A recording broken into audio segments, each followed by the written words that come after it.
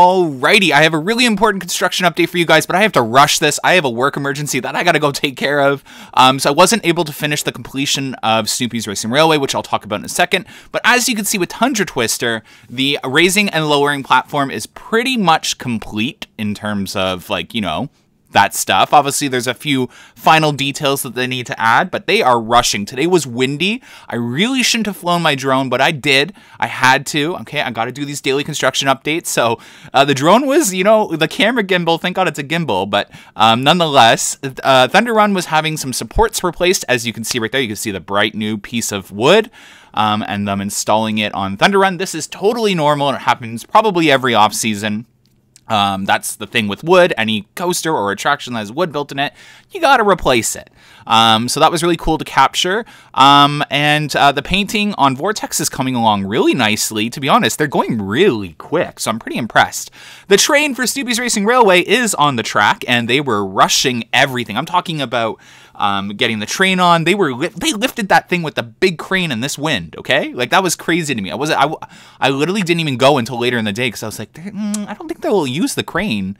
Um, but I had heard they were going to install it. They have the brickwork piling up right here next to Ghoster Coaster as they get ready to start doing the landscaping. I'm telling you, they're really close to doing it. You'll watch. Look close in this video. They're preparing all the leveled area of land to start doing some of the landscaping.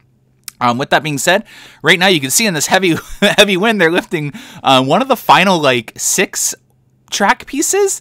Uh, take that take that very loosely, but I think there's only six left.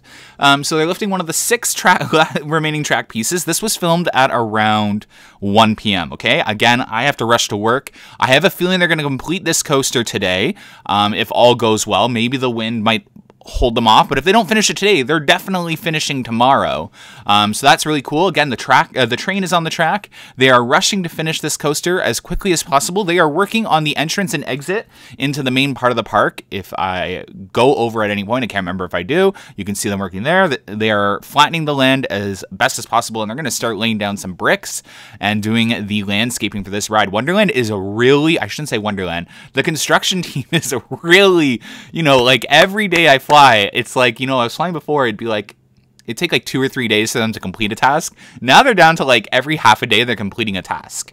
Um, so that's really cool. Like between yesterday and today, the raising and lowering platform was completed. So um, I have a feeling they were going to do Tundra Twister today, but the wind, those are a much heavier um, object. Uh, I I wanted to film Whitewater Canyon because this is strange to me to not see activity this early.